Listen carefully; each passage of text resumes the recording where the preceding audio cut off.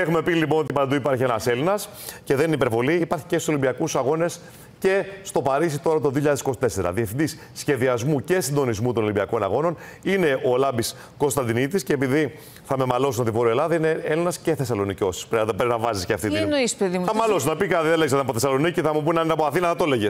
Όταν από Θεσσαλονίκη το, το λέμε και αυτό λοιπόν. Γεια σας, κύριε Καλημέρα. Καλημέρα. Καλημέρα σας, καλημέρα σας. Ωραία. Πρώτη ερώτηση. Πώς βρεθήκατε εκεί, Στο Παρίσι. Ε, εργάζομαι για τους Ολυμπιακούς Αγώνες ε, εδώ και πάρα πολλά χρόνια, από την εποχή της ε, Αθήνας.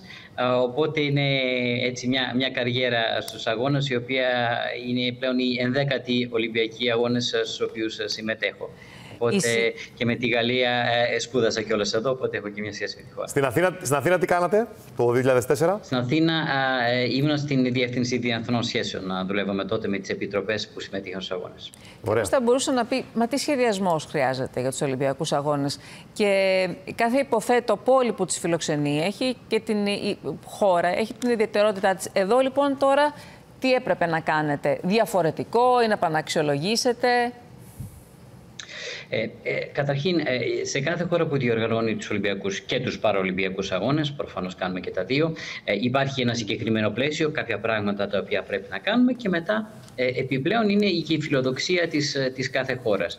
Εδώ ο σκοπός μας λοιπόν ήταν πέραν από το να διοργανώσουμε άψογους Ολυμπιακούς Αγώνες, να διοργανώσουμε αγώνες θεαματικούς, αγώνες οι οποίοι να θυμίζουν Παρίσι, να θυμίζουν Γαλλία, αλλά ταυτόχρονα να είναι και στο πρέμα της εποχής, δηλαδή να είναι βιώσιμοι, με σεβασμό προς, προς το περιβάλλον, να έχουν κοινωνικό αποτύπωμα και βεβαίως να έτσι δείξουν στον κόσμο αυτό το νόημα της, ε, το μήνυμα της ε, ειρήνης και της συνύπαρξης που είναι τόσο απαραίτητο σήμερα. Έγινε λοιπόν πάρα πολύ μεγάλη προσπάθεια, όχι τόσο στις μεγάλες φαραωνικές κατασκευές ενδεχομένως που είχαμε δει στο παρελθόν, αλλά περισσότερο ε, στην ε, έξυπνη ε, χρήση ε, μνημείων και υφιστάμενων υποδομών για να διοργανώσουμε αγώνες ε, στο, στο Παρίσι να ρωτήσω, σχέση με την Αθήνα για παράδειγμα, δεν είναι πιο εύκολο, να το πω έτσι, να γίνουν Ολυμπιακοί αγώνες; Υπάρχει το Stade de France, υπάρχει όλε οι εγκαταστάσει του Roland Garros, υπάρχουν τρομερές υποδομές που στην Αθήνα τα φτιάχναμε όλα από την αρχή.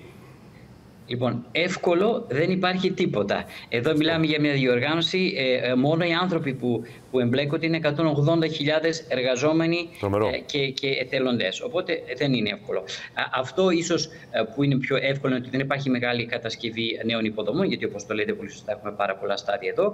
Αλλά ταυτόχρονα θα έχουμε και πολλά προσωρινά στάδια σε εγκαταστάσεις όπως και κάποιες που δίνεται στο, στο βίντεο. Οπότε και αυτές για να κατασκευαστούν στο κέντρο της πόλης απαιτούν πολύ μεγάλη προεργασία και συνεννόηση με όλες τις αρχές. Εσείς θα προλάβετε να δείτε τίποτα από κοντά, σε κανένα στάδιο; Αν όλα πάνε καλά, ε, το εύχομαι. Αλλά ε, ο σκοπός μας είναι περισσότερο να είμαστε στα μετώπιση. Και να πούμε και κάτι. Είναι το Παρίσι, αλλά δεν γίνονται όλα στο Παρίσι. Θα ε, έχουμε αγωνίσματα και πάρα πολλές πόλεις και μάλιστα χιλιάδες χιλιόμετρα μακριά η μία από την άλλη που θα μπορούν να έχουμε αυτή τη διεξαγωγή. Άρα εδώ θέλει ένα πλήρη συντονισμό. Ακριβώς, γιατί οι αγώνες δεν είναι όπως είπατε μόνο στην περιφέρεια του Παρισιού, ε, από τη Λίλ ε, στο βορρά του Παρισιού μέχρι την Νίκαια και τη Μασαλία και μέχρι την Ταϊτή, στην άλλη άκρη του κόσμου, στον Ειρηνικό ωκεανό, που θα έχουμε ε, το σέρφινγκ, που είναι ένα από τα ωραιότερα κύματα του κόσμου. Οπότε δουλεύουμε 24 ώρες το 24 γιατί όταν θα κλείνουν τα στάδια εδώ, θα έχουμε το, το surfing εκεί 12 και πλέον ώρες πίσω μας στην, στην Γαλλική Πολυνησία. Έγινε χθες πρόβα, μόνο αυτό, ναι, τίποτα ναι. άλλο. Η πρόβα έτσι, της, της τελετής της έναρξης με... Και εγώ για την τελετή θα ρωτήσω. Ωραία.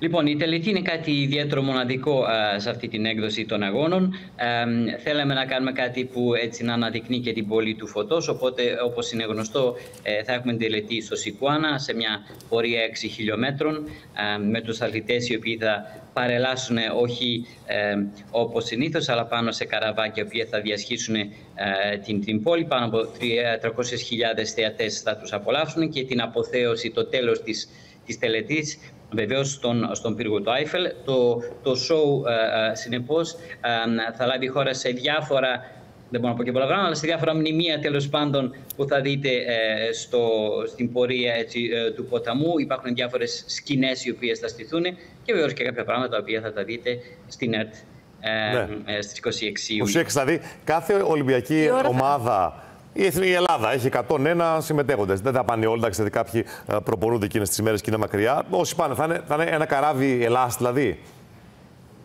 Ε, εξαρτάται. Υπάρχουν ε, ε, ε αποστολές οι οποίες έχουν το μέγεθος για να είναι μόνες τους και είναι άλλες οι οποίες θα είναι μαζί. Ούτως ή άλλως είναι με αλφαβητική σειρά, με σειρά πρωτοκόλλου. Η Ελλάδα θα μπει πρώτη, όπως πάντα. Το πρώτο καραβάκι θα είναι της Ελλάδας με τους σημεοφόρου και όλη την αποστολή από πίσω. Ευχαριστούμε πάρα πολύ, κύριε Κωνσταντινίδη. Καλή επιτυχία να ευχηθούμε. Να πάνε όλα καλά. Να είστε καλά. πάτε... Ε, πήγα να πω να πάτε διακοπές μετά, δεν έχετε. Έχει και, παρα... και παρολυμπιακού μετά. Παρολυμπιακού μετά, βεβαίως. Και να σου πω, δηλαδή συνεχίζετε, θα πάτε και Λο Άντζελε το 28 μετά.